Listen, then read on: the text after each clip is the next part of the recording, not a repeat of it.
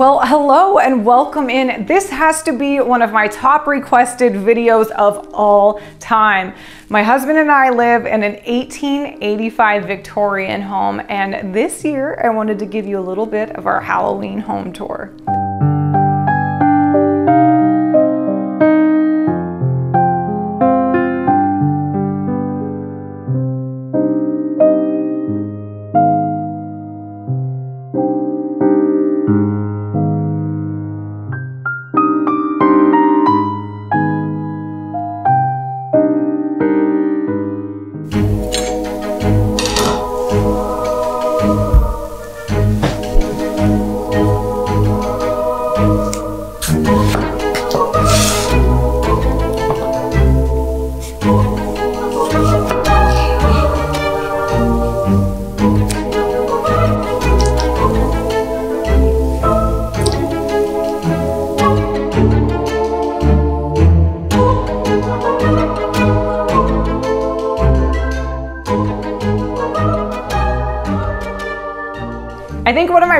Tips for any kind of entertaining is get all of your food prep ready and done ahead of time. And you definitely don't want to be doing it while your guests are there waiting for you. It's all about just getting together and talking and having fun and eating. So that's why I like to make easy things like appetizers and good little finger foods and nibbles. You know, I've always loved this time of year. The fall is so beautiful and magical. I love lighting all my scented candles, getting cozy with a blanket, watching a, Helen, you've arrived. She always loves making an entrance.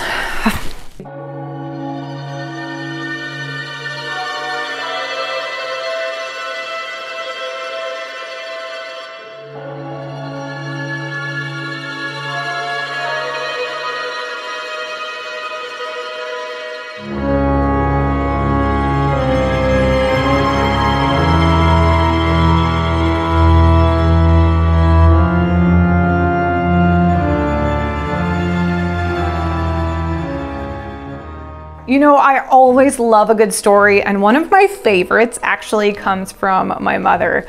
When she and my father first got married, they were living in this really incredible, like 1920s apartment place. My mom always talks about what an amazing place that was. And one of my favorite stories that she's ever told me was about the secret room underneath the staircase that she discovered. She got her flashlight out and she was peering underneath the staircase and saw these like twinkling, creepy eyes looking back at her. So she freaked out, dropped the flashlight. like, what would you do? Right? If you saw eyeballs all of a sudden looking at you.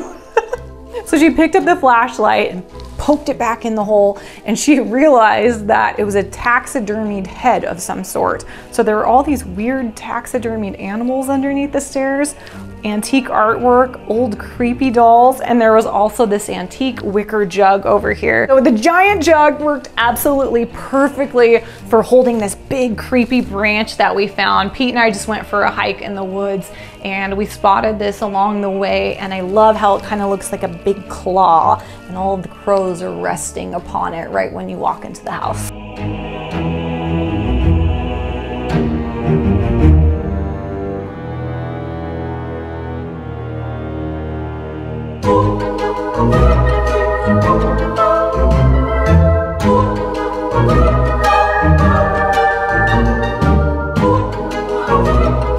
Thank you.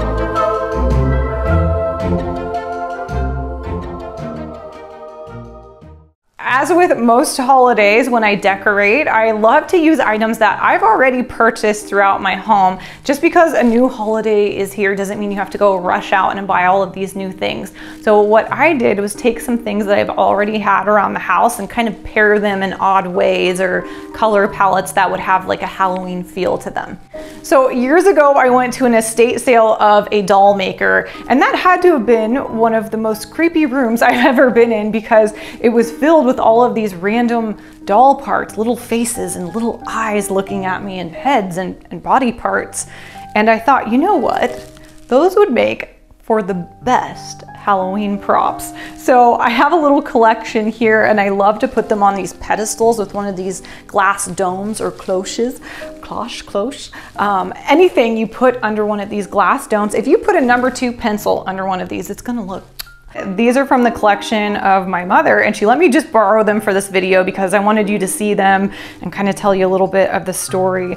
I am from Eureka, California and in Humboldt County there was a famous potter back in the day that would have a little booth in the mall and he would sell some of his designs and wares every Christmas. My mom would go there and she would treat herself to a couple pieces from his little holiday pop-up sale.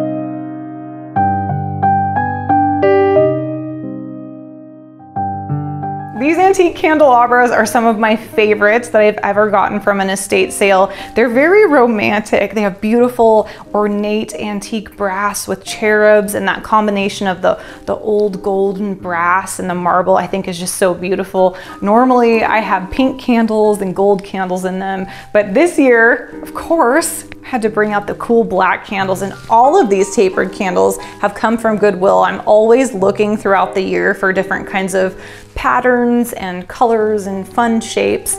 I think that when you decorate with antiques, it can go to really stuffy and boring very, very quickly. So if you do something kind of unexpected and a little bit mix match like this, it makes it a lot more fun. This advertisement kept popping up on YouTube. Anytime I would watch a YouTube video for Grandin Road, and it's the first time I've ever purchased anything from them, but they had these giant eyeballs that I thought were so cool. So I, I put them again under one of those glass domes, like a little baby doll head in there, and stacked it on top of some antique books. This is one of my favorite antique books that I picked up from a garage sale. It's called The Hunted Woman. I've, I've never read it, but the cover and title was so cool. I keep this in my Halloween stash with all of my fake pumpkins and stuff, and I get it out every year just to have it on display.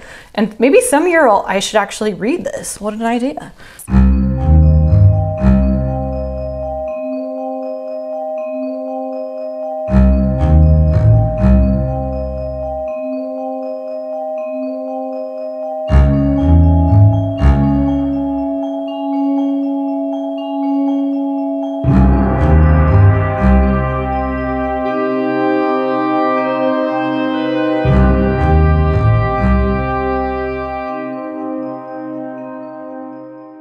The spider infestation is just taken over the house this year. We're gonna have to see if the exterminator can do anything about this. You know when I said I was like dreaming up ideas and stuff? This is one of them. I had this idea of a spider nest like taking over our fireplace and crawling up the wall and stuff. So we went off to my husband's friend's house and he raises chickens. He was the guy that you saw in that last video who does honeybees and stuff. He has a really cool farm. And so he had chicken wire at his, at his farm. And I was like, hey, see if Jeremy's got any extra chicken wire for my spider infestation. So I built this giant cocoon and I kind of like domed it in almost like a donut shape. And then I shoved my hand in there with some fake spider webs and then crept all of these little baby creepy crawlies all the way up to the top onto the artwork on there. I just love how this looks because when you come around the corner in our dining room, it's like, it kind of takes your breath away.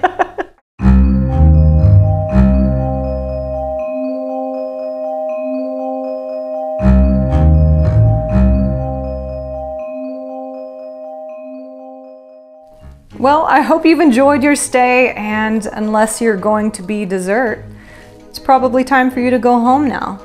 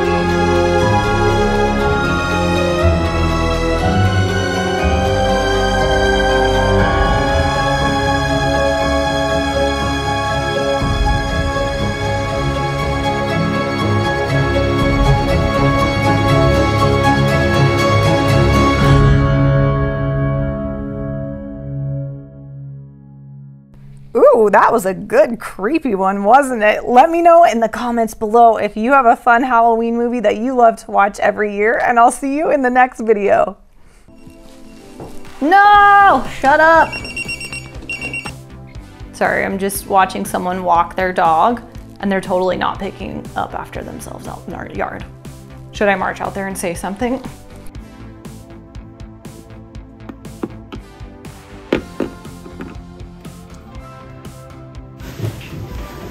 Millie.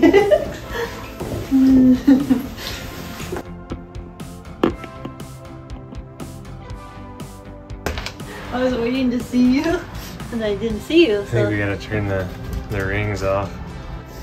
I cut myself when I made that caprese salad and I have a Hello Kitty band-aid on my finger. That's not very cool.